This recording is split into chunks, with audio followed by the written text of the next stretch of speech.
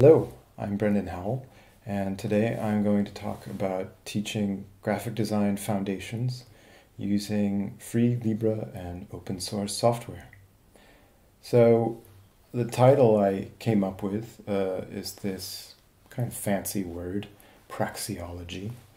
Um, hope it's not too pretentious, but it's a kind of a nice word. So let me let's just see what the dictionary says it means. They say that Praxeology is the deductive study of purposeful human action and conduct. Sounds good.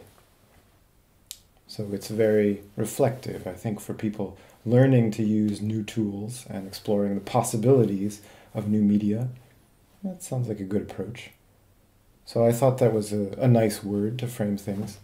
And I gave it this subtitle, though, uh, about how I'm getting away with teaching this subject using software that's maybe not the officially sanctioned tool. And um, I guess the reason I say that, some people might say, well, it's a bit negative or it's a bit, at least uncertain. And I think that comes from my own experience that when I suggest sometimes to people that they try using something that's a bit outside the mainstream, maybe, or at least unconventional, uh, that people get a bit skeptical, sometimes even hostile. So I was kind of surprised and quite pleasantly surprised that it's it's been working out pretty well. So I'm going to share some of the successes and um, some of the uh, ideas and approaches and things. Well, there's some failures too, but for the most part, the talk about the positive aspects of how well this is has been working for me. So, in 2015, someone approached me and asked if I wanted to teach temporarily for a year uh, in Brunswick or Braunschweig, Germany, at the uh, University of Arts there. Now, this is the, it's maybe not as famous as some of the other schools, but it is the second biggest art school in Germany.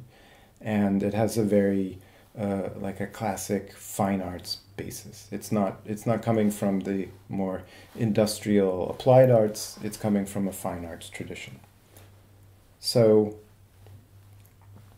uh, they wanted someone who, in my case, I said, well, are you sure you want me? I'm not a proper, I'm not a graphic designer. And they said, no, no, we want, uh, for the foundations year, it's important, even though, and my department is visual communication, it's important that we start with this fine arts tradition, both for the digital and for the analog uh, techniques.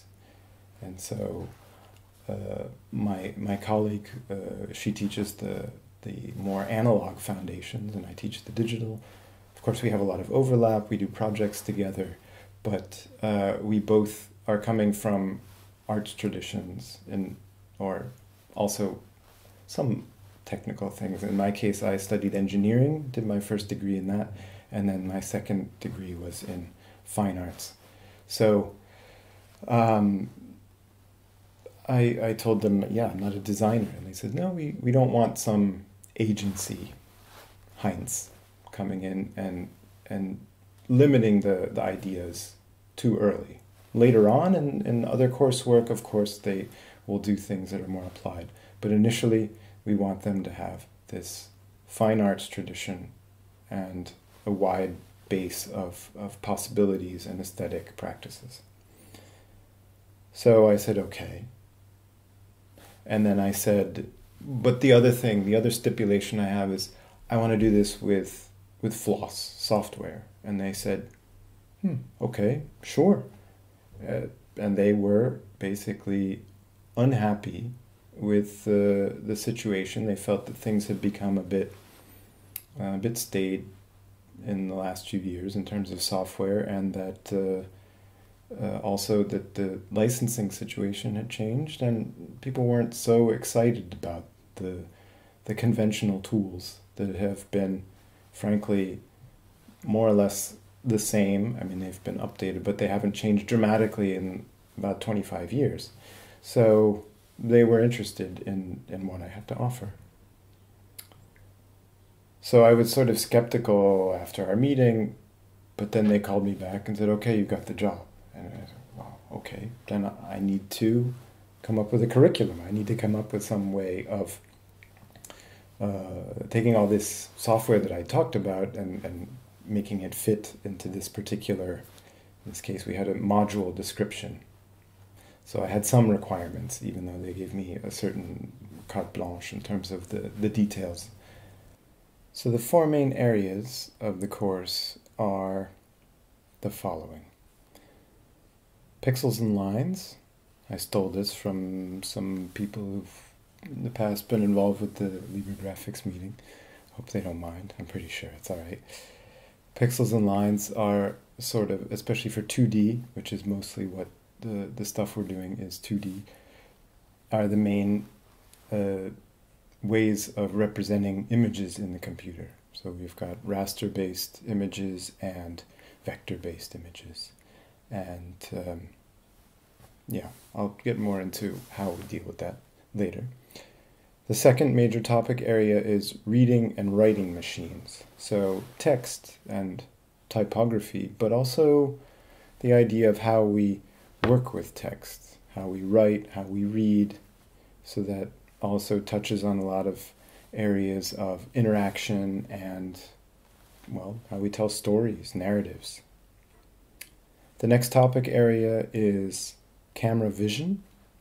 And again, this is one where it's not just photography or photography and film. We get into animation. And then, of course, things have gotten kind of weird with photography lately and pretty interesting. So there are a lot of new possibilities, new ways of uh, what some people have called non human photography, and uh, some new ways of, of seeing that involve the computer sort of doing the looking for us.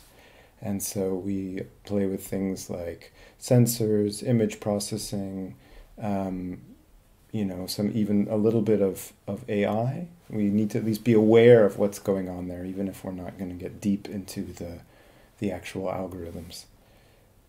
And then the last topic area is what I call meta machines. So that would be programming, of course, but also uh, anything that's very dynamic. So if you're dealing with something that's interactive, uh, whether it's web or um, applications, but also the the other thing, and this is another one that's sort of started to change a lot. That if you know one of the criticisms that I have of these more conventional conservative tools is that they are based on an old idea. They're sort of imitating the old analog way of producing that you make an image and you go into the darkroom and you enlarge it and then you do all these things more or less by hand and you do those of course now with a screen and a mouse but you're still doing these individual operations manually sometimes that's good and great but sometimes it might be more interesting, and this is where designers, some designers, are starting to think about things in terms of generating images so that you design a machine and then you put some input or some data or some triggers which then output an image based on a system of rules and algorithms that the designer has developed. So this is another way of where I'm talking about meta machines. So now at the same time, we need to maybe look at some actual concrete examples. Like what, what are we actually doing here? And uh, I talk about pixels and lines, but one of the things we're doing is we actually, well, maybe it's a bit mean of me, but I actually start off by having everyone install a text editor because I want to deal with media, not applications. I love certain applications and I think that's great. But I think the later you start with them, the more uh, open your mind is to other possibilities and ways of, of doing things with a particular medium. So we're working with pixels and lines, but we start off by using a text editor to make uh, pix maps and bitmaps manually. It's a bit maybe a little bit cruel. It's it's certainly labor intensive, but we just do uh, some brief assignments initially where before we start working with the mouse and the GUI and all those nice, cool features that the software gives us, we do it by hand and we actually see what those pixels really are as data and we think about it in a different way. And the same with SVG. We make SVG vector graphics by hand. We code them by hand. Of course, that means that a lot of things that are really easy in, say, Inkscape are nearly impossible. So it actually is an interesting set of aesthetic constraints. And the students start to sometimes develop, uh, at least within the context of these assignments, some really cool minimalist aesthetics and approaches. And the images they make, and they start to see this themselves, the images they make are different than the ones that they would make when they're presented with the, the convenient access to more advanced techniques.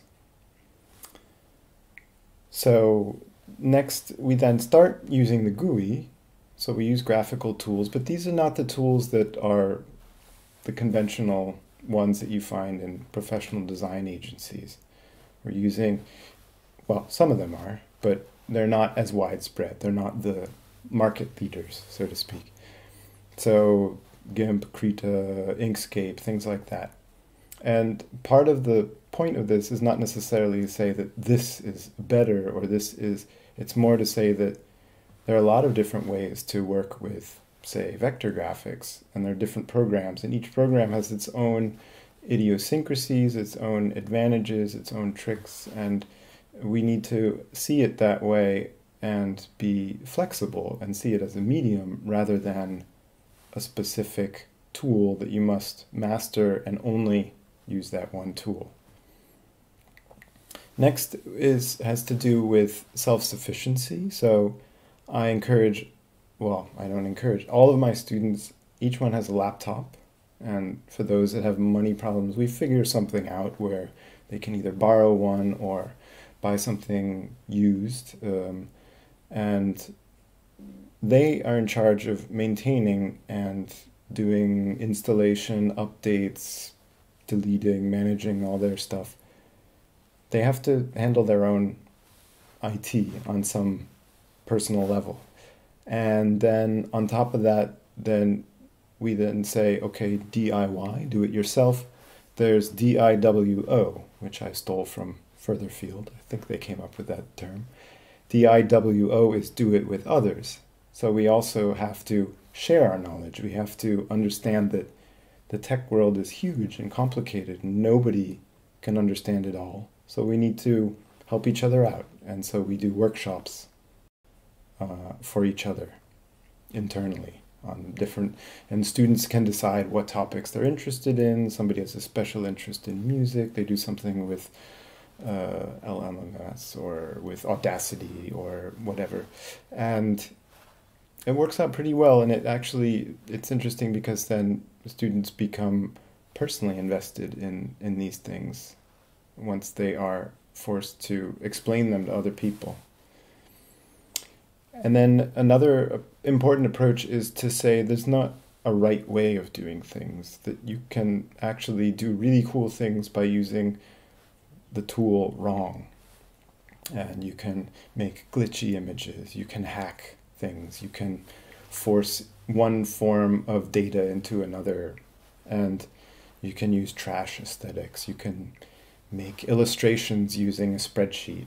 Um, you can sample and cut and paste. So this is also something that where uh, open source really excels is letting you uh, tweak things and make them do something that maybe they weren't necessarily intended to do, but they give a cool visual result. So finally, the, the, the, the general idea is that every designer is also a kind of inventor, that you have to invent your own technique or process, and that expression is something that is active. It's something that comes out of action, out of decisions that you take in the process of producing something. And the result is, is a record of that. So finally, how do I get away with it? That's sort of coming back to this idea of getting away with it. So how? I use these sort of limitations and constraints, but I say this is only temporary. After this is done, you can then, you don't have to do this again. You don't have to use this particular program or this medium or this way. It's, it's a way of saying like, this was a, a way to understand it, but now it's your choice. And because it's presented as a wide world of possibilities, then I think students don't feel as as forced into using one program or another, and they feel like there's more diversity that's open to them. And in a way, the students start to like these constraints. They like to push against the rules, to play with this, that, okay, I'll make uh, an image with this, but then I'll cheat by, if I'm not supposed to use text, I'll use um, certain shapes that look like text. Um, and then there are just so many different ways of then combining things. That's another thing that is interesting. Instead of having one tool and doing one thing in one tool and that's done and it's a sort of autonomous work, then they they sort of mix and match and flow from one thing to the other. So they have more of a, um, at least at a certain point in their development of ideas, a more improvised process rather than something that's based on one tool and using it one way. And in the end, we have a lot of fun making cool stuff. And I think that's really the thing that's most convincing to anyone is if you can enjoy the process of using a piece of software and enjoy the result, that you're going to like it no matter who made it or how it was sold to you. So I want to encourage everyone, if you haven't or if you're feeling shy, go for it, try it. It's it's actually been a, a, big success. I've been doing this for five years. It was supposed to be one year, and they've extended this. And um, I'm still having fun, and I'm really eager to hear about other experiences that people have teaching with floss. Thank you.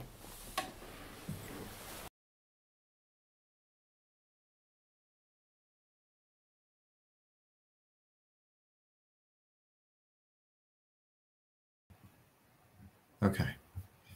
Uh, so um, I, I'm going to scroll back here. There were a couple of questions. So one about DIWO. Yeah, so there's an organization, an arts organization that does a lot of work with uh, the web and new media and stuff in the UK that's called Furtherfield. And that was where I first heard it, that they had a series of, uh, I think, basically workshops that they called DIWO as a sort of contrast, a sort of joke that that was sort of not the opposite, but a, like an alternative to DIY, that it was collectively based. And that's something that I always do in the in the the, the second semester. Each uh, the students have to make small groups, and then um, they give each other they just sort of pick a topic. Sometimes it's a topic they don't know much about but they're curious. Uh, like last year there was one on djing. They were interested in like beats uh, and dj stuff. So they used Mixxx and uh, did basically like a dj workshop in the classroom. So i teach um, it's called uh, Foundations of Digital Communication. Sorry? Ah, yes. To repeat, the question was the what what's the actual course that I teach? So I teach uh, it's in the Department of Visual Communication. So basically, the the profile for the students is is graphic design, and the course that I teach is called Fun, uh, Fundamentals of Digital Communication. Um,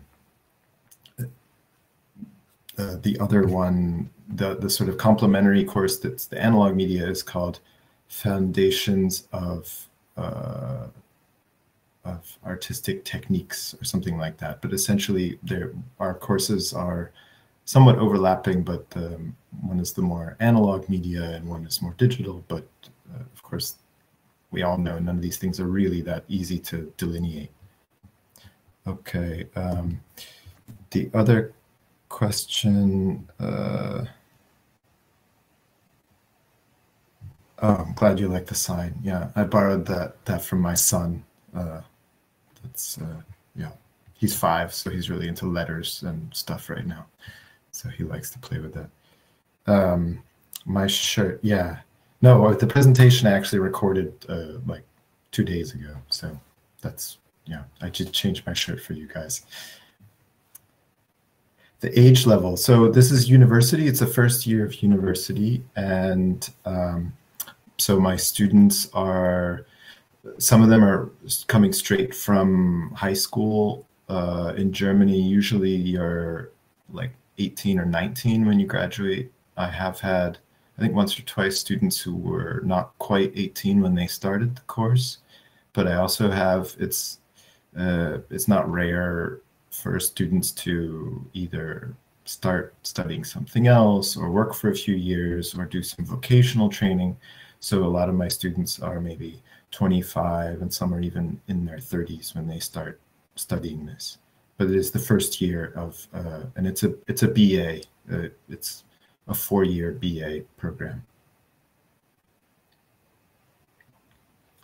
Yeah. Um, okay. So the question about how to survive with floss tools in industry.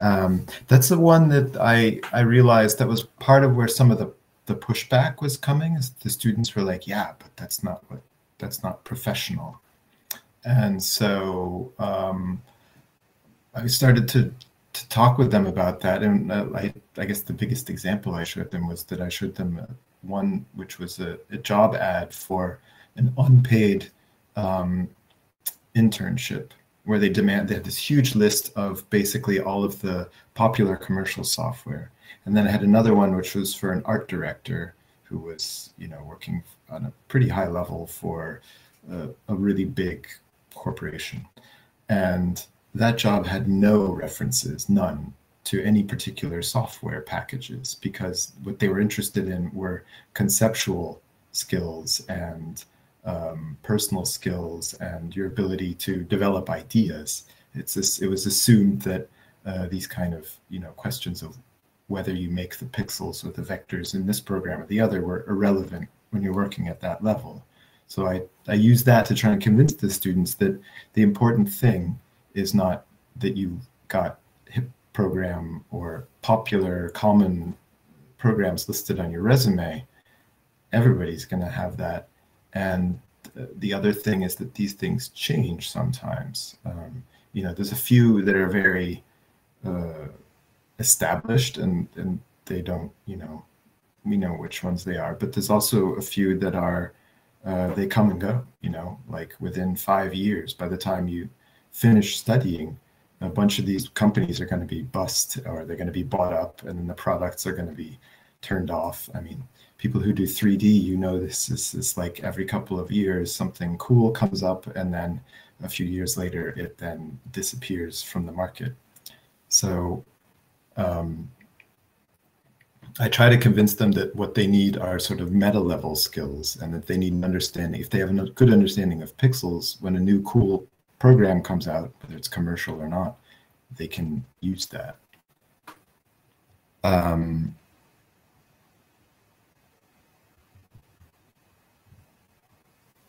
with the de facto tools. Uh, all right, wait, hold on. I'm, I'm looking at the, I think I'm getting out of order here. Do I ever have pushback? Yeah, definitely. I mean, it happens. And sometimes I have to be a little bit um, strict about it. But I also say, look, this is about artistic fundamentals. You don't, in, in the analog class, you don't complain uh, when you're using, I don't know. I mean, they have uh, ones where they're supposed to use like a giant paintbrush as a sort of restriction, as a sort of constraint to their creativity, and they don't complain about the brand of paintbrushes or the type of things. And that's sort of one way that I try to argue is that I'm teaching you um, uh, meta level skills, and that if you understand, um, you know, good rules of, of composition, of color, of um, different ways of doing layout, it doesn't really matter what particular tool you're using, that you're going to be able to, if you have a general adaptability with software, because you've used a lot of stuff and you're not uncomfortable about using something different, then it's not a big deal then to say, okay, uh, QuarkXPress isn't hip anymore, then I'm going to try this. I understand typography. This is typography. And that's, uh, to my mind, more important. And sometimes I have to push a little bit, but I, the way I've broken things down into small pieces, I say like, okay, well, tell you what, next week, if you want, you can use the big commercial program. This week, you're going to use this one, but um, it's still typography or vector graphics or whatever. Um, you don't need to, uh, you know, feel like you're wasting your time. Um, okay. Do I, yeah, I teach half time. So the question was if I teach full time or not. Yeah, so I teach uh, half time and uh, I do some freelance stuff. It's kind of, it depends. I mean, I've done some, you know, more like very commercial stuff for for startups. Um, you know, either front end or other, mostly front end uh, development for web based stuff. But also, I do at least my favorite work is I do for artists and museums. I do sort of technical things. So, uh, video artists who need multi-channel installations, or um, the the German Railway Museum, one of my best customers. We really have fun building a lot of interactive uh, exhibits for them and I do the, all that with uh, with Floss. Wouldn't be possible without it. Okay. Uh, question: Are students curious about praxeology? Is praxeology something I teach? Why this name? Um, I don't know. I just actually I don't use the term that much in. I mean, I teach in German, so I would have to figure out what if I could translate that even. Um, but uh, I do I, I, mean i do like this idea that that our practice is reflective that it's about what tools we use and how and that it's not just about okay these are the officially sanctioned tools. This is the way you produce images. It's sort of like well all right here's a, a sort of an area that's interesting. How do you want to make it? It's up to you. That's part of your job as a designer is to think about the tools and the process. And um, you know that's that's what makes it interesting and that's also what makes the images the results actually interesting. So I, I do incorporate that that reflective aspect of it of course. Yeah. How many weeks do i um, my syllabus it's two semesters so um, uh, the meta yeah the meta one is because it involves programming. That's sort of um, it's one that I should repeat the question more explicitly. How many weeks do I teach the syllabus? And um, uh, this is from East. East also wants to know more about the meta um, meta machines. I think was the the part of the program.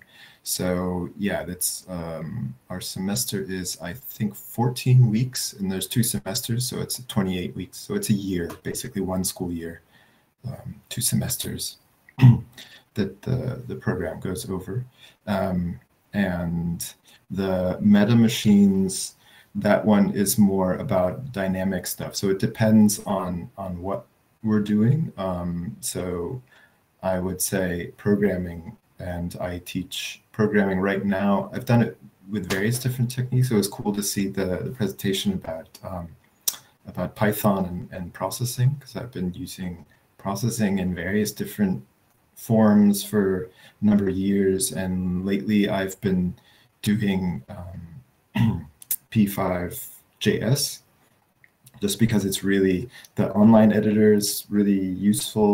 Um, it's helpful to be able to, you know, when students run into trouble, they just send me a link to their code and then I can go and look at it. Um, and um, that's one of the tougher subjects, but it's also one of the subjects where people really start to see how cool Floss is. So Um, but I would say this meta machines thing, I wouldn't limit it to that. I would say even something like um, uh, you could even argue that using templating systems and CSS are kind of meta machine that you don't have. Uh, that as a designer, you come up with a system and then you pour the content into it, and that will come out uh, differently. It's not that you lay out every little thing by hand the way you would in, say, a, a, a classic uh, page layout software. So I, I, I qualify that also as a sort of meta machine. Um, okay. What's the piece of software that my students choose to use the most? I think it varies. I mean, it, it also varies like depending on the year. I would say this year, a bunch of students are really into um, uh, Krita. Like they really like it. They they did a big animation project with that and they had a lot of fun. They also had some trouble, as it is, you know, especially with animation, you end up um, huge files or conversion problems. This kind of stuff is normal, but uh, that one is definitely big. Um, I mean, GIMP is very popular just because it's a good general tool when you need to just quickly whip up something. It's it really offers itself as the as the quick solution. Um, but it's it's a huge variation. And then I guess the one thing that everyone uses definitely a lot is text editor. So, yeah. To uh, so question from myself himself. Uh, do you tie your classes with makerspace machines or techniques, 3D printing, laser cutting, vacuum forming, or am I focusing just on software and electronics? Yeah, for the most part, it's mostly software.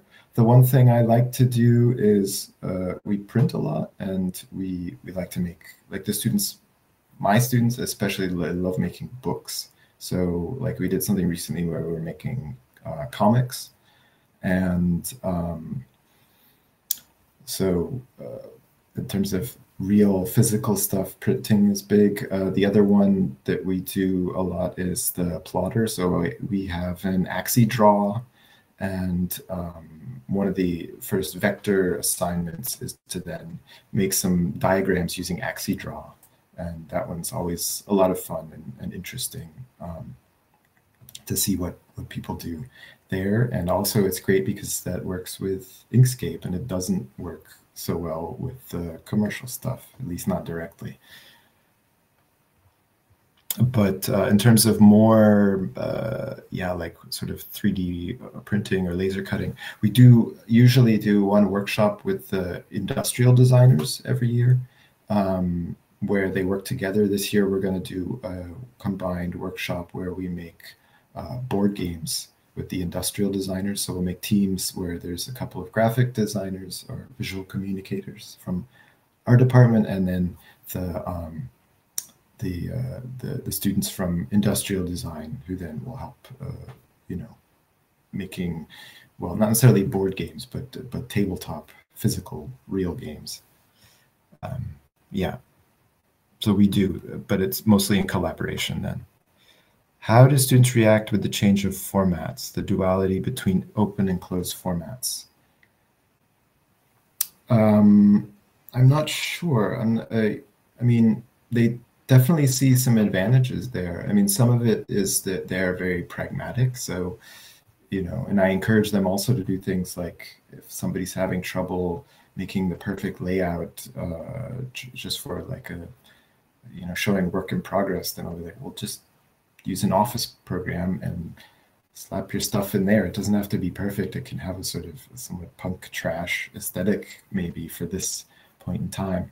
So they they're ready to to improvise, um, and uh, I guess for them they don't get so much into those debates, although they do they start to see things uh, with certain situations like. Um, with copyright, for example, uh, you know, I, I encourage them. There's a lot of assignments where I say, okay, you can use appropriation, but it needs to be from um, archive.org or something like that. So it's uh, we, we talk about a lot about copyright and also about the advantage of uh, things like the web where you can view source and how other formats like say flash or director they died because in part they weren't open enough that you couldn't uh, just go and, and sort of steal cool tricks from other people.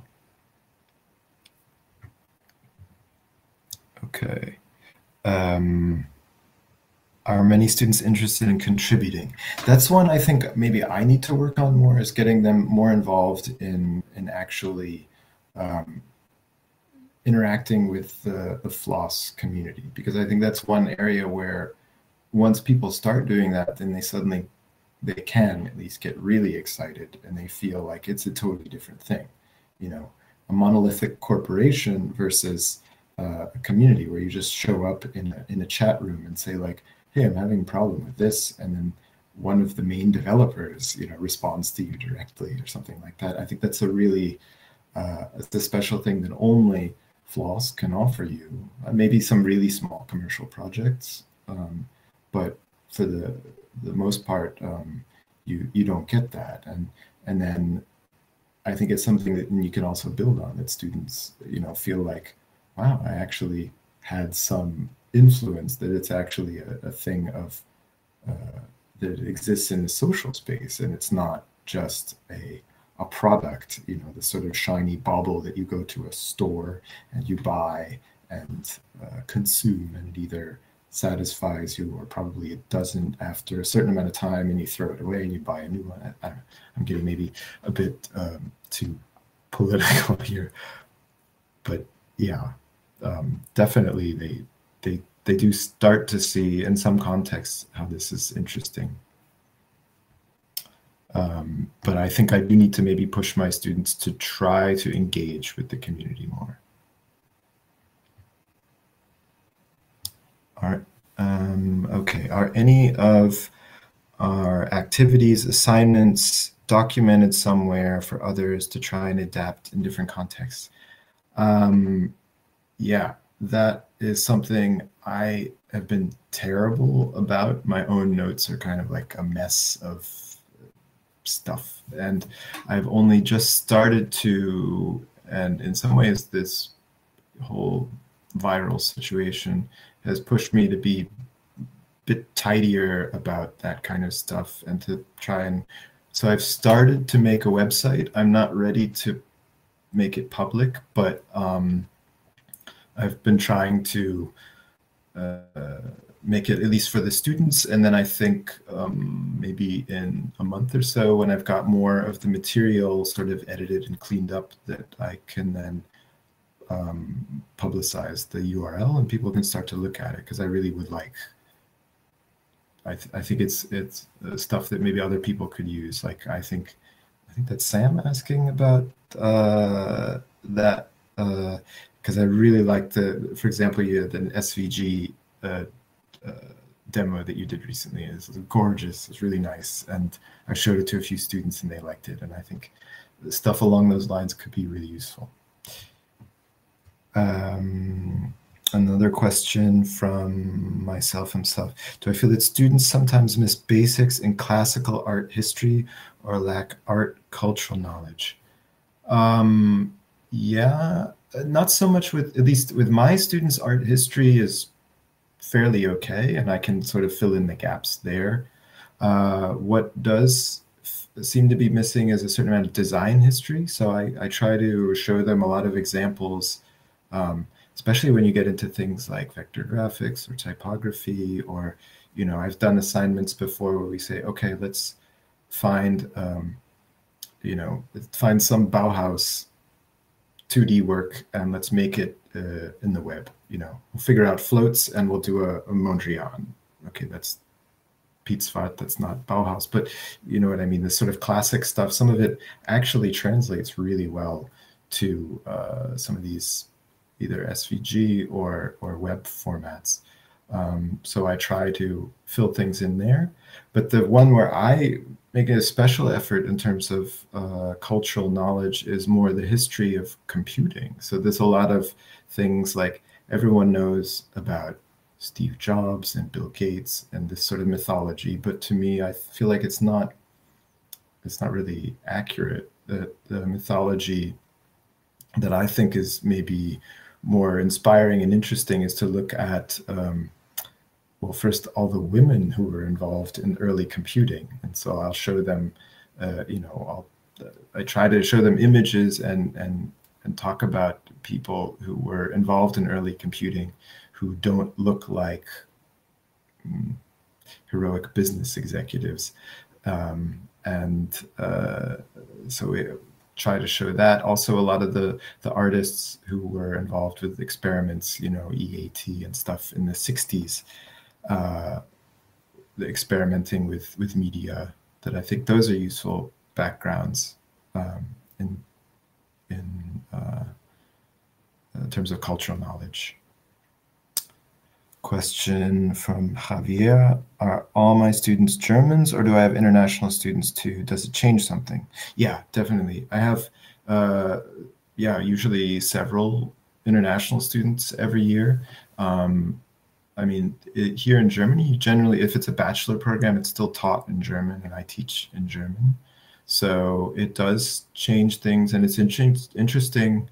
That's the one area also where open source uh, is doing a pretty good job. Like translations are good, you know, or, or things like like the the MDN, the uh, web, the docs from Mozilla are in most uh, these bigger languages they're really well translated it's it's great stuff so it does change things and that's one area where um, open source can at least for projects that are popular enough to have good translations that students are like oh wow cool this uh, you know gimp works in korean and it's it's kind of exciting to people then to see that um, another question is this still being taught in corona times doing video conferences.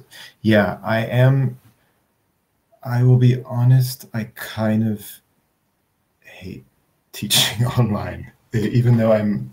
I know it's ironic. I'm a sort of a digital person. Been, I love the internet. I've been using it for since I was like 16, and uh, you know, way back in the 90s.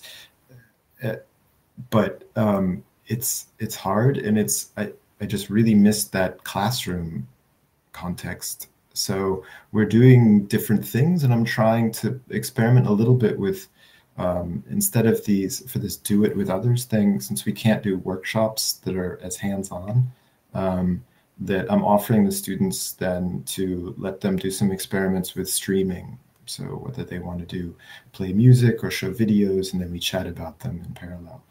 We're trying some stuff like that, and uh, right now, we're doing stuff with with P5JS and using the online editor. It's it's tough. It really is because there's something about being able to sit down next to somebody uh, in front of a computer and, and look at things and talk about it that you you can't do uh, as well when you're you know miles away from each other. Uh, AxiDraw. Yes, Raphael, thank you for the link. That's right. That was the question about the plotter that we use, the pen plotter. It's a bit expensive, but it's pretty nice. But there are other ones. There are also ones that you can build yourself. Um, I, uh, yeah. So a question about how technically savvy are the incoming students? And did I notice a change in their willingness to accept modifying or using digital tools differently? Okay, that's sort of two questions. Yeah.